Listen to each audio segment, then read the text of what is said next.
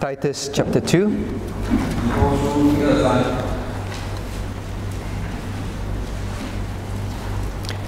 I shall read from verses 1 to verse 5. In English first. But speak thou the things which become sound doctrine, that the aged men be sober, grave, temperate, sound in faith, in charity, in patience the aged women likewise, that they be in behavior as becometh holiness, not false accusers, not given to much wine, teachers of good things, that they may teach the young women to be sober, to love their husbands, to love their children, to be discreet, chaste, keepers at home, good, obedient to their own husbands, that the word of God be not blasphemed. In Chinese, please, verses 1 to 5. 中文的我会读第一到第五节。第一节开始，让你所讲的总要合乎那纯正的道理，劝老年人要有节制，端庄自守，在信心、爱心、忍耐上都要准确如此。又劝老年妇人举止行动要恭敬，不说谗言，不给主做用善道教训人，好指教少年妇女、妇人爱丈夫、爱儿女，谨守自节，要理家务，待人有恩，顺服自己的丈夫，免得神的道理被诽谤。 May God bless the reading of His word. 也是是福音，有他的话语， Let us pray. 让我们祷告。 Our Father in heaven, 在天上的父， we thank you for journey mercies to thy house. 感谢神你平安带领我们来到主面前。 And above all, for this great privilege to be able to worship you and fellowship one with another in person in church.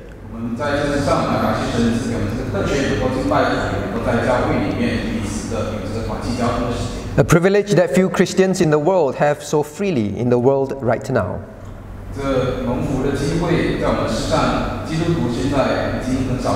And we pray once again for cleansing, for washing in the blood of our Savior as we approach you.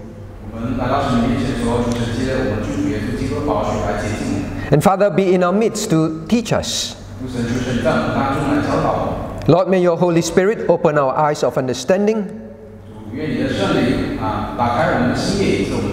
Because we as seniors want to change. So teach us, and we ask all this in Jesus' name. Amen. Now, please remember this is God's word to a young pastor, Titus, to teach the elders, the elderlies, rather, in church.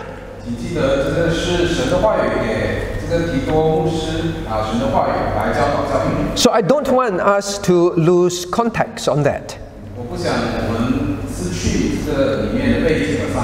So in verse 1, Peter is told now, but Peter, uh, sorry, but Titus, now you must speak these things. They are sound doctrines.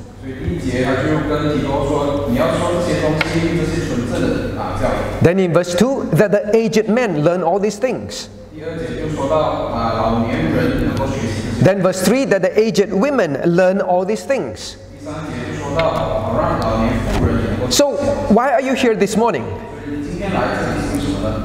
It must be, Lord, we realize that in the test in the Bible there are things that you gave to us as the aged to learn.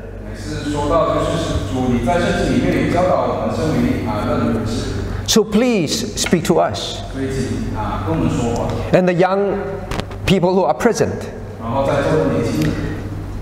This is what you ought to be when you are aged.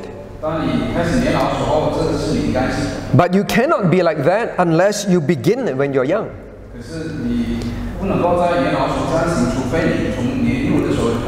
So you too must listen and say, Lord, I must start being like that so that when I am aged, that is who I am already.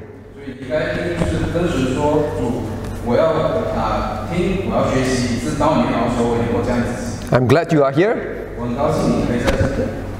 Although there is not much logistics for you to help in.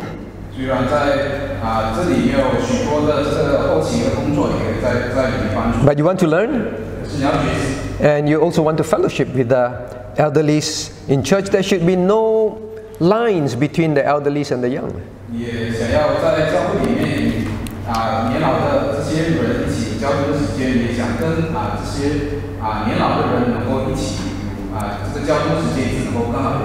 So today we move for the aged men.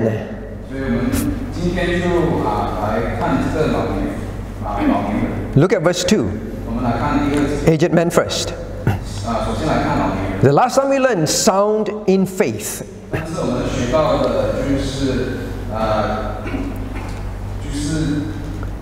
Sound in faith. 就是这个啊，在信心啊要纯全无私。 So when it comes to the Christian faith, both in doctrines and in living, 所以讲到这个有关于这个信心，无论是在教育或者是在生活上。 even when you're aged, you are supposed to be growing in that and you are supposed to be very clear minded about the doctrines and the practices.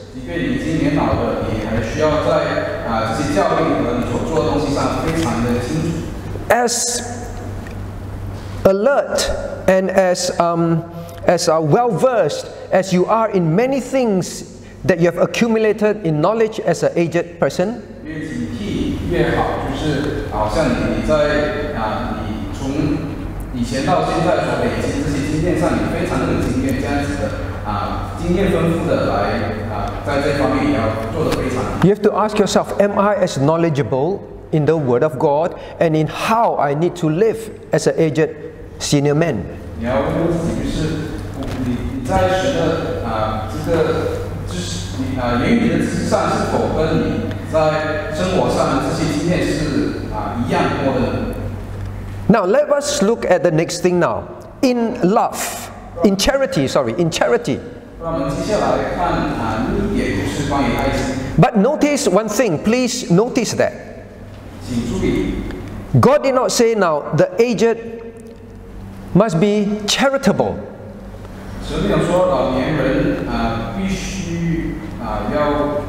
God did not say elderly be charitable. God did not say simply be charitable. But God said be sound in charity.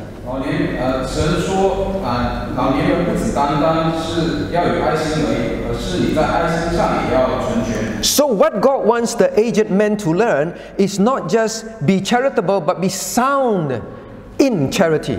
所以神要老年人所学习不只有爱心而已，而是在爱心上要纯全无私。 Now, I want to combine this with the aged women that is in uh, verse 4. 我要拿这一点和第四节所提到的这些啊富人啊连起来一起。 Now, in verse 4, God also talked to the aged woman about love. 在第四节啊，神也跟这些富人说到关于爱心。 Now, last time we learned to love your husband. 上次我们学习到要爱慕你的丈夫， Now we want to learn about to love your ch- to love their children. 现在会学习到要爱慕你的儿女。 you see, God also told the aged women, now you must teach young women to love their children. Just like God tells the aged man, now you, when it comes to love, you must be sound in that love.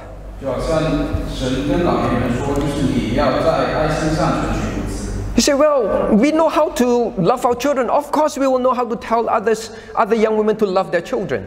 你说我们知道如何爱护我们自己的儿女，我们当然也会告诉那些妇人要如何去爱护他们。 An aged man say, well, you know, I, I'm, I want to be loving. I, I think I know how to be loving.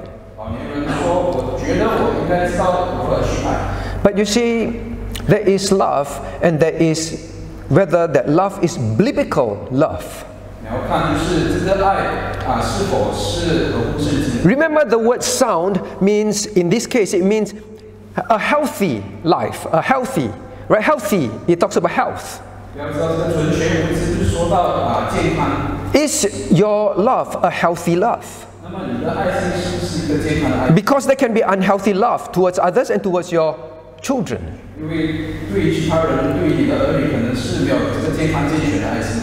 Is your love clear minded? This sober also not only talks about healthiness, the healthiness brings clarity of mind. 你的爱心，这是说到啊这个健康的，因为健康是说到你要清晰的头脑。 Now you say, well, we've lived a long time. Look at our children, we brought them up in a very loving way. 说我们已经活了许久，我们以爱心来啊养育我们的儿女。 I've done many loving things for the church, for other Christians. 我以爱心来对教会、对啊信徒做了许多事情。 But notice God still told the young Titus to teach what is sound love. 要知道啊，神还在教导这年轻的提多关于什么是纯全无私的爱心。 So, for aged men and women, you first and foremost have to know in the Bible what is love. 所以年老的啊人和富人，你要首先啊主圣去知道什么是爱， What does it mean to love someone? 要去爱人是什么意思呢？ Now, we've been studying this in prayer meeting, the second great commandment, and I hope that if you cannot come for prayer meeting, at least watch it on our YouTube channel. 我们在祷告会学习关于这个第二大诫命，如果你啊不能够来啊参加祷告会的话，至少在 YouTube 上可以观看。 Listen to the messages that are loaded on our website. 来看啊，在我们啊这个教会网页上载的，可以看到的这些啊信息。 Now, if I were to ask you, aged men, what is biblical love? Can you answer? Maybe I ask the young person. Uh, um, Mabel, all right, young woman. What is biblical love?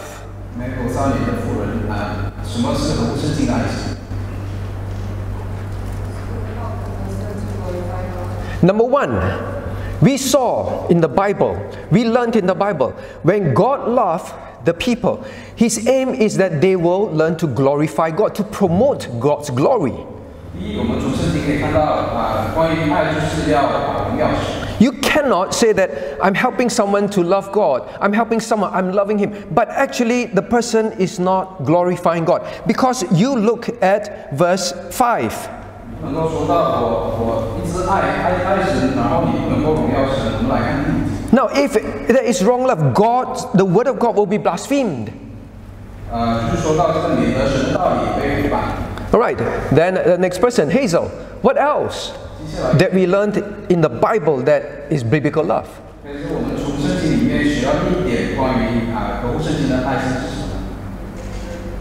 It must afford protection, it must give protection. So God says, now you must love your neighbor. And in that he says, you must not suffer sin to be on your neighbor. In other words, you must not let your neighbor live in sin.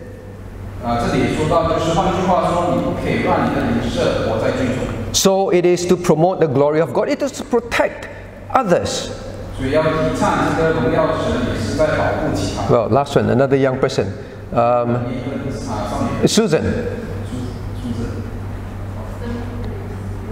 Very good. It helps them to produce fruitfulness. 第三就是帮他们就是啊结出这个果效， Because Christ said, I lay down my life for you. The reason why I love you so much and died for you. 呃，我为我这么的爱你，为你死的原因是， Christ said, The reason why I did that is so that you will produce fruitfulness and the fruit will remain. 基督说到这样子就是为了好让你结出果子，好让这个果子也能够啊存留。 Now I want to make two points. This is the definition of biblical love. Now, aged men and women, if you say, I, I want to teach others to love and I want to love, first and foremost, you have to know if you do anything that, that does not fulfill these three things but does the opposite, you are not loving biblically. 啊我要爱，我要去啊爱爱爱别人，或者教导别人我要去爱。如果你做这三点的相反的话， Every time you say, Well, I must be sound in love, you must remember these three things. Every time you say, I want to love, teach people to love their children, it must fulfill these three things. 每次你说到我要去爱人，我要有这个纯全无私的爱心，必须要符合这三点。 Now you begin to have soundness in love. Now, the second point I want to make is this Why is it that the young people could answer? If I were to ask the elderly, how many of you could answer the biblical reasons from the Bible? Now, my, my point is, aged men. Before God says be sound in charity, God says be sound in faith.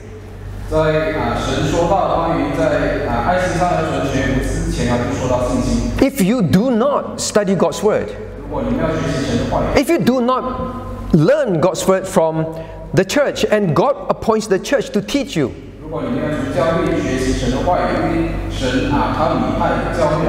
if as aged you think, actually I know a lot already, then why is it that when I ask that question, is there any Bible um, um, principles in your mind about what is sound love?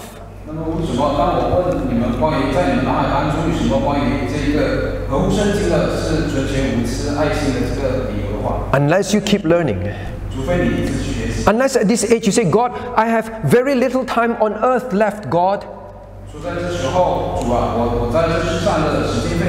I know a lot about gardening. I know a lot about business. I know a lot about politics. But I don't know how to love in a sound way. Now, aged men and women, your time on earth is limited. You must feel that urgency. I want to live rightly before I meet God.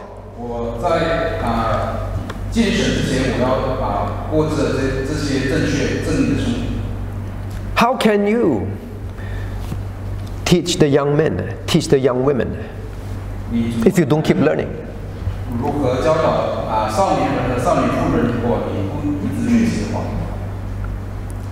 So as we learn uh, these three things, what are some of the applications? Now, first and foremost, God says, now, aged men, apply right love. Aged women, teach young women to love their children. What is that love?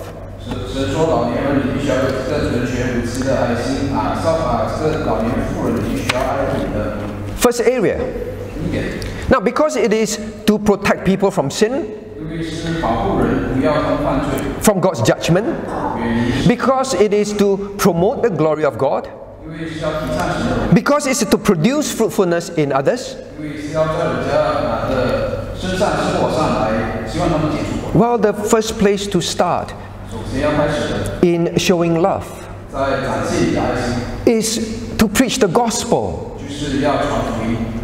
You must show love towards others and your own family. But we have our own ideas. You know, well, I'm aged, but look at what I've provided for my children. Look, look, they are very successful in life. I've given them great love. Uh, my parents did not manage to give these things to me, but I give all these things to my children. I am even more loving than my parents.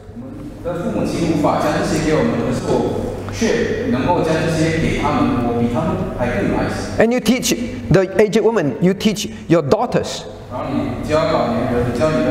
You know, make sure you give all these good physical things to your children. But is that love? Are you teaching them to love rightly? Now, many of us are very willing to go to great extents, to go all the way, to do a lot of things for our children physically. 我们许多人都很愿意啊，下许多的功夫，走更远的路，来为这就是啊，提供更好物质上的东西给我们的人， That is not wrong. 这不是错的。 But that is not the love that God is talking about. 可是这也不是神所讲到的， Don't mix that up with when God says, be sound in love. 不要混淆。当时说到你在爱心上要纯全无私， Now, here the word is to remind us Have I truly loved? 这里的话语是要提醒我们，我们是否有真正的去爱。 I'm willing to do so many things, but I rarely share the gospel with my children. 我愿意做许多东西，可是我很少跟我的儿女传。 I rarely share the gospel to my grandchildren, let alone tell my daughters, my, hu- my, my sons, make sure your children are saved. 我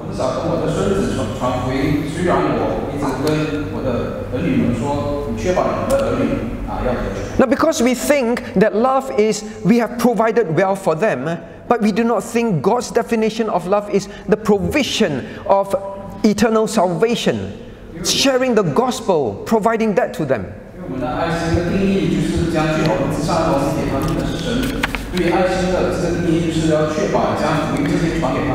To your friends also.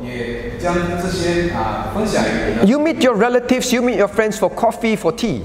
你跟你的亲戚朋友们啊见面来咖啡， You're very happy. I'm very loving. Uh, let me pay, let me pay. 你说你很爱心，你很有爱心，然后你要帮他们啊啊交缴缴账， But months after months, years after years, 可是啊 months after months, and years after years, 啊啊一个月一个月过去了，一年一年过去， you get your children to come home to eat dinners. 你让你的儿女们回来吃啊晚餐， Your grandchildren, you spend a lot of time with them to care for them. But you hardly share the gospel. Well, the young person, your nephew, your nieces. Do you share the gospel with them? So that is the beginning of sound love.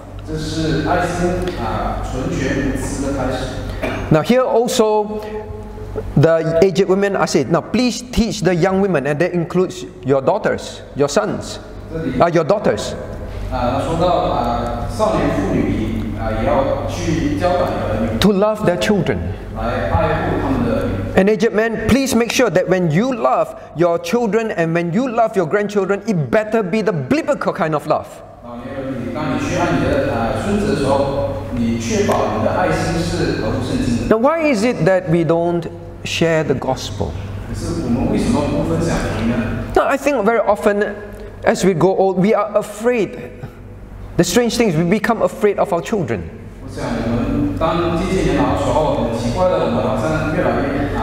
We, we are afraid that they get upset at us.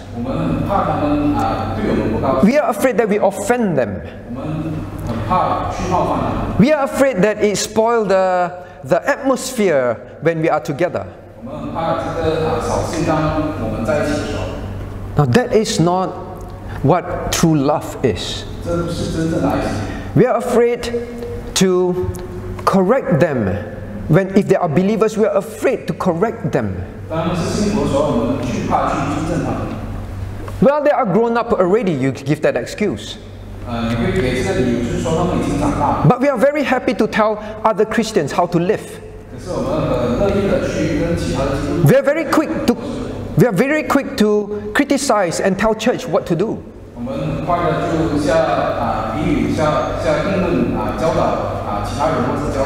But we dare not correct our own children.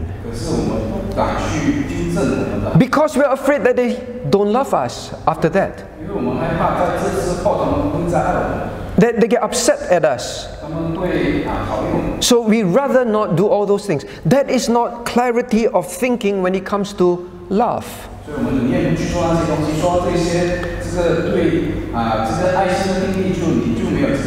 We learned in the Bible. Love, even when Christ said, I, I give my life and died for you, that's how much I love you.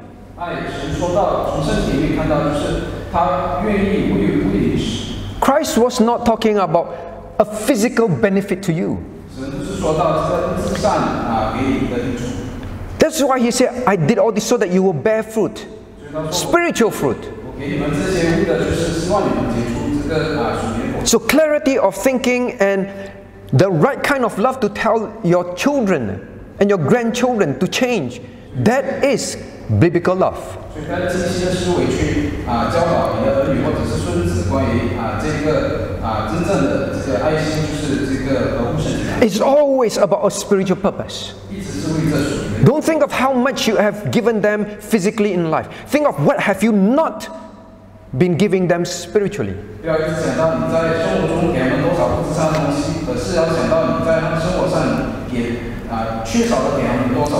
Your life on earth is limited. I'm not cursing you, please understand that. God is telling you, this limited time on earth, please do not leave this world with regret that I did not do anything to share the gospel enough to my, to my children and my grandchildren.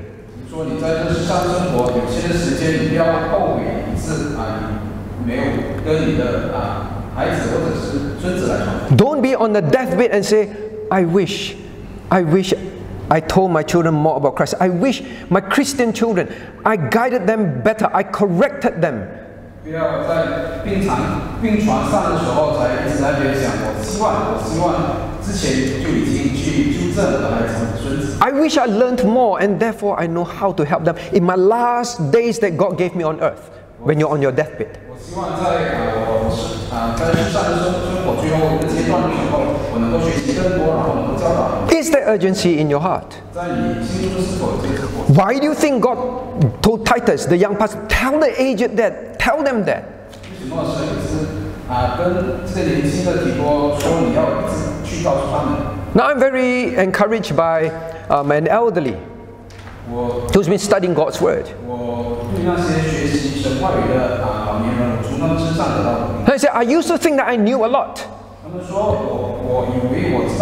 And I was like those who say, this, I've been in church for so long, there's nothing much you can teach me. I know a lot, maybe I can teach you.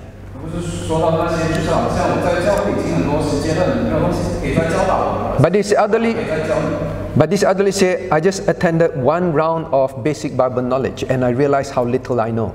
是老年人说，我只是参加过啊一次的这个啊圣经教课程，然后我就发现到我知道的东西非常少， I must learn more. 我必须要学习更多。 And I'm very, I'm very clear about one event last year that happened to an uncle of mine. 在去年在一次事件上，我记得非常清楚啊，这个事情发生在我的叔叔身上。 I shared the gospel with him when I was a teenager and he rejected it. 当我还是年轻人的时候，我跟他传福音，让他拒绝。 But last year I found out that he became a Christian some time back. 然后啊，我就之后发现到他在啊去年啊一些时间里面，他就成为了基督徒。 And he had cancer and he was in his very last days of life. 然后他在他啊生活最后一个阶段的时候，他得到了这一个啊癌症。 And he kept telling my family, 然后他一直告诉我的家人， my children are not saved. And those that profess to believe in Christ, their life shows that they're like unbelievers.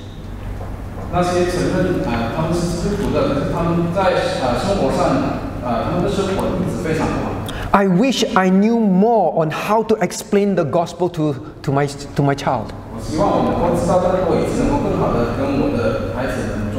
I wish I knew how to answer all the questions that they have, that they ask me and I cannot answer.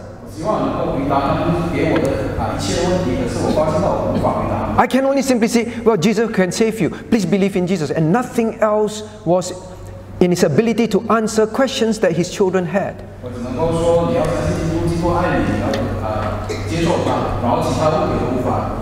As the father, he knew that these were my last days. My son, my daughter may go to hell forever, and I did not do anything much when I was when I could. 这位父亲他说：“我知道啊，这我的孩子们会去地狱，可是我我却不能够做到什么，因为我没有学习。 Married, I look at my grandchildren, 我看我的孙子， and my days are so limited. I wish I had more time. 我的呃我的时间有限，我希望有更多的时间。 So, do you know what is being sound in charity means? Your thoughts about this true love is very clear in your heart and mind at your aged stage of life. 你这个你知道这个纯洁无私爱心的定义是什么？就是你在你的生活上，你对这个爱心需要有这个清晰的思维去去爱。 Love, you tell your, your son and daughter, love your children. 你要告诉他们，你要去爱你的儿女， But you do the opposite. 可是你做相反的事情。 You're not sound in your love towards your grandchildren. Many grandparents, in fact, it's so common that people make children's clothing that says things like that.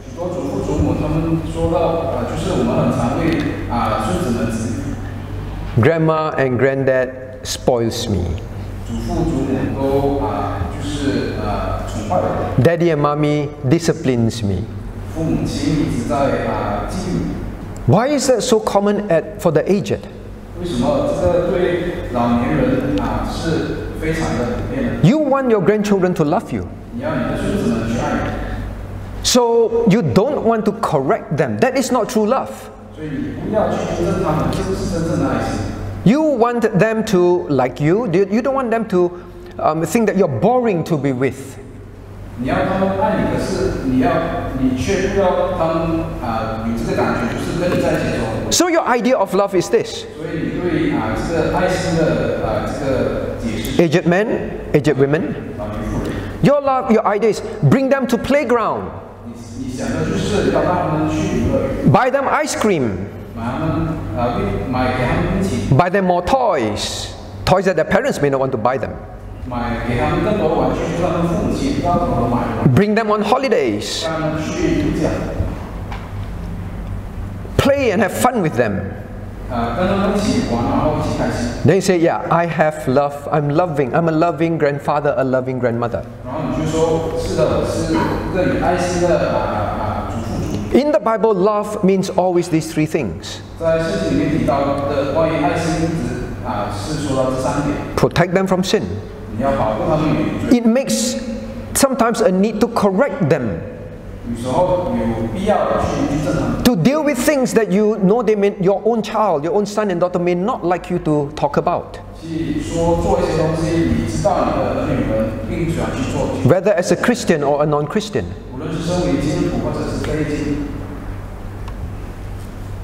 I overheard a conversation when I was eating. The person was sitting just in front of our, our table.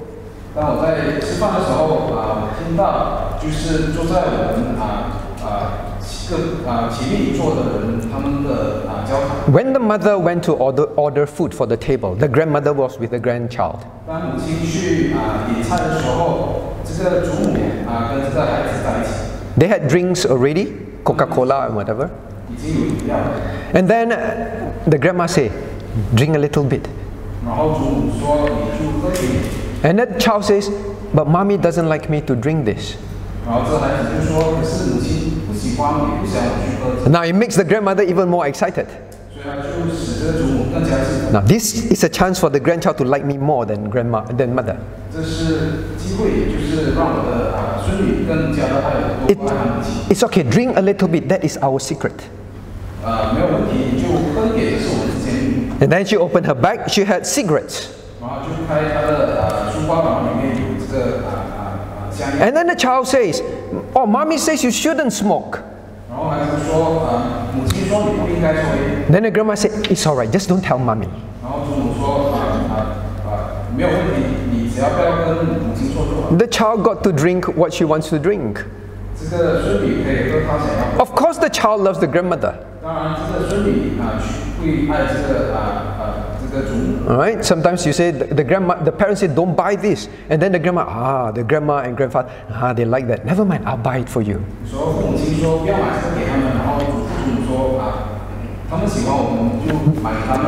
Because on our last days on earth, we like our grandchildren to like us. We want our children to just have a very happy environment with us in the last days. But that is not what God says. Say, please wake up your ideas. Sound in charity means wake up your mind about what is charity.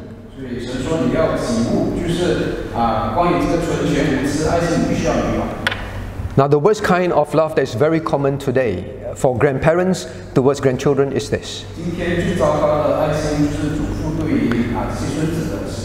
is fighting, competing for your grandchild's love.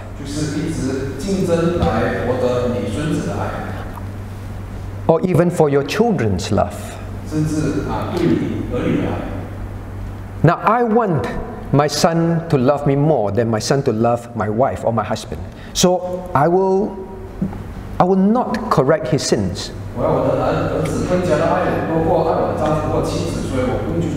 I will let him do what he or she likes. Let the husband or the wife do the nagging. Same for grandchildren. Now, the bottom line problem of this wrong love that is very prevalent today is this. Bring your children back more often. If not, I will, I will, I will, um, I'll, me and my grandchildren, we, we will not be close. Is it wrong to be close? Definitely not. Should grandchildren, should grandchildren know their grandparents and love them? Definitely. 孙子必须要啊、知道认识他们的祖父祖母吗？当然， But sometimes it's at the expense of their family worship. 有时候啊、这个代价就是他们不去啊、参加这个啊、或者没有这个家庭， It is at the expense of they are serving God together. 就是他们也没有去一起的来服侍神。 And very often it is because you're competing. I want my grandchildren to love me. Actually, in your heart is, I want them to love me a lot, a lot, a lot. Even if they love you, love me more than you, I don't mind. 有时候你是要你的啊、孙子们就是很很爱很爱很爱很爱。 Now I say again, 我我再说， there's nothing wrong with wanting to be close with your grandchildren. 要跟你的啊、孙子很亲密不是错的， But you must remember, 可是你必须要啊、记得， teach the young women to love their children. 你要只教少年妇女去爱儿女。 Don't compete with their affections, don't compete with their affections. Teach them that they must obey their parents, must love their parents, not you.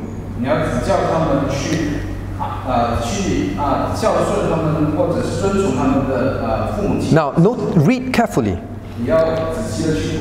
God did not say, teach them to love children. God did not say teach them to love your grandchildren. God says teach them to live to love their children. The children belongs to them.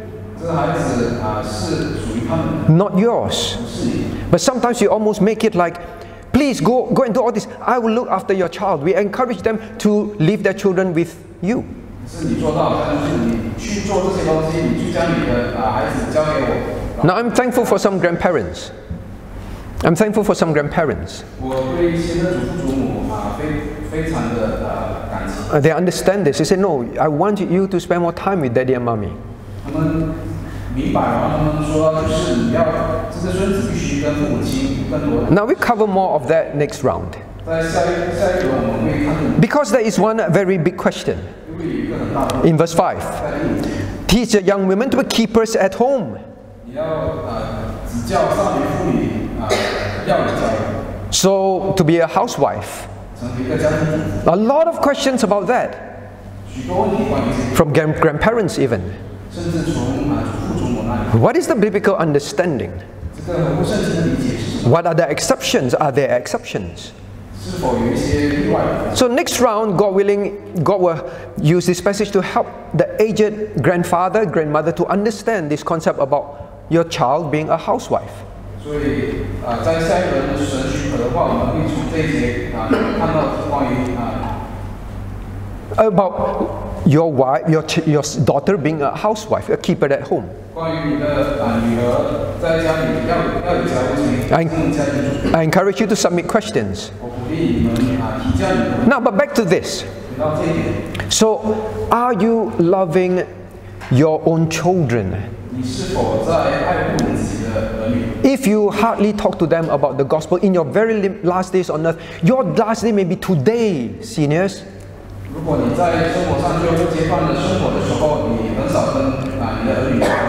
We have people in our church the seniors that died within three days of being diagnosed with a cancer. You know who he is.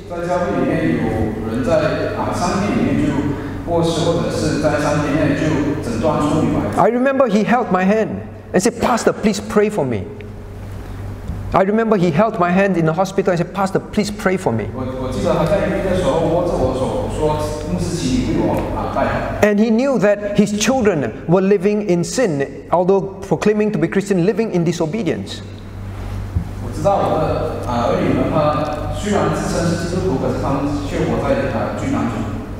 He probably wished he did more to deal with that because now the one person that has the greatest authority in their children's life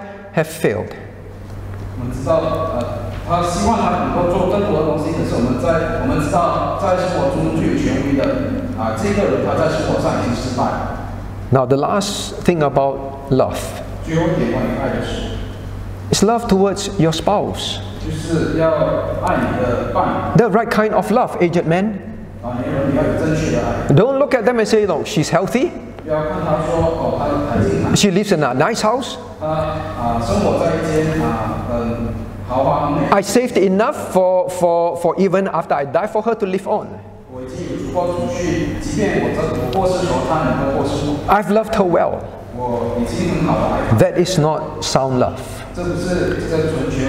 I hope, as aged men, you wake up to one idea. When you read in the book of Ephesians, chapter 5, about the husband's love to the wife.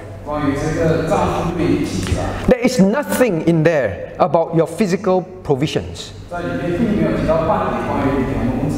So wake up to the idea in your last days.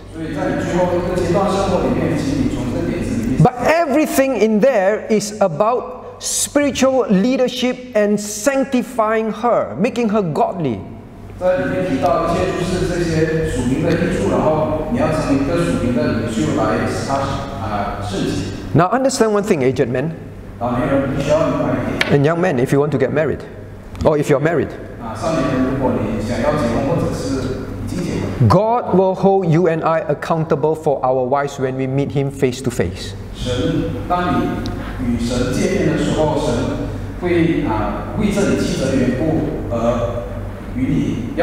Because he gave men, husbands, very clear instructions about how to love the wife and help her spiritually, lead her.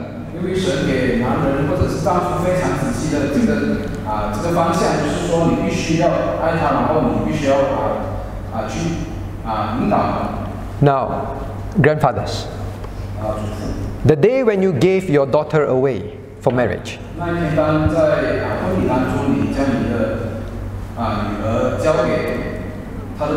I'm sure before they said, You better take care of my daughter. This is my daughter.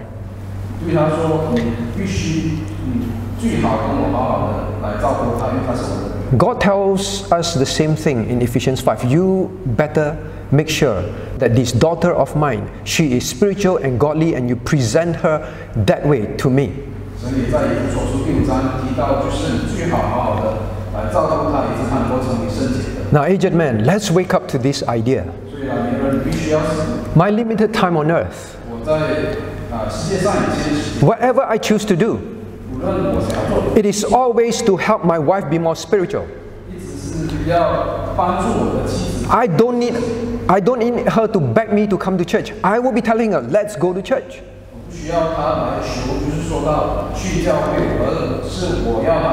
Because now you are the head of the home. You must now start conducting family worship.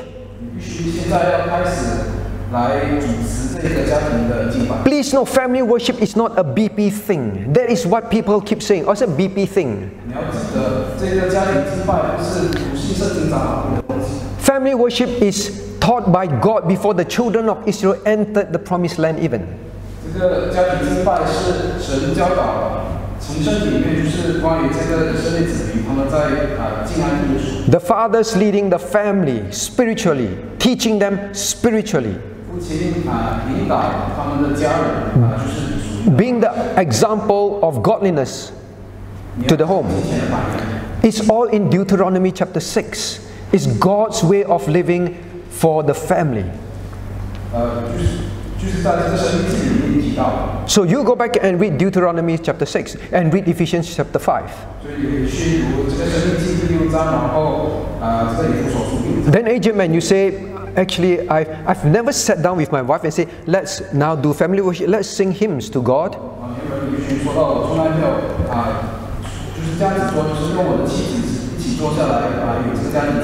I, I've never, I've never said, wife, now we, we pray together about church and about um, these things in our life.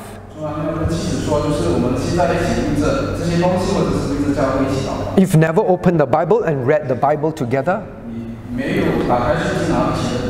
And learn enough of the Bible to explain to her things about how you are living together. What she and you need to begin to change before you die. That is what it means to be sound in charity. It is not doing a BP family worship, it's doing Deuteronomy 6 or commandments. You see, in your aged life, there is a very wonderful time ahead. And how, how as grandfather and grandmother love the grandchildren.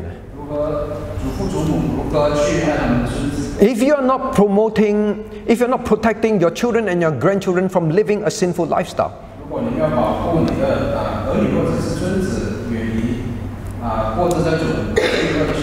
by not wanting to teach them and show them from the Bible.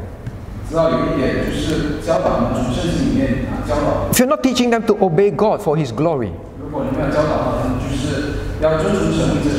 to promote fruitfulness in them, get them to return to church. Then you know you are still in the extended time God gives to you as aged men and women, still not doing what God says, be this before you meet me. 你知道，在神给你延长的时间里面，你还没有啊做做出神要你做的东西。 Are you going to walk out of this room and say, I really don't want to think about how I should love my children and my grandchildren? I want to continue in my old comfortable ways. 你走出啊这房间或者是教会啊的时候，你是否说，我还是必须，我还是要过着我以前的这种方式，就是以我以前的方式来爱我的。 Maybe when I'm on deathbed, I'll give them, please be like that. 也许我在病床的时候，我会说你请这样子做。 You may not have a chance to talk to them before you die. 你也许在你过世之前，你没有机会跟他们讲。 I can't tell you how many times aged men and women on the deathbed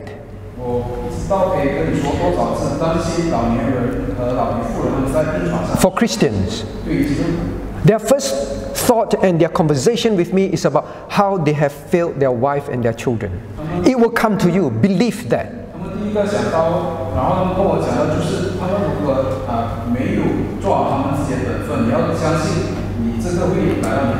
That is why God says, Titus, teach the aged men and women this now. 这是为什么神对这个年轻的提多说，你这时候要教导这些老年人和老年妇人。 The next time we return, we'll learn more about the next phrases. 这次我们回来的时候，我们会学到更多关于下一下一节的。 But there's no use learning a lot, 可是啊、如果学习很多是没有用的。 but not going through the discomfort of changing. 若你没有经过这个不舒适的，然后去做出改变， Two, soundness in charity. Let us pray. Now, someone asked what is the difference between psalms, hymns, and spiritual songs. Someone also asked, can we just have instrumental music? Can, can we worship God with instrumental music?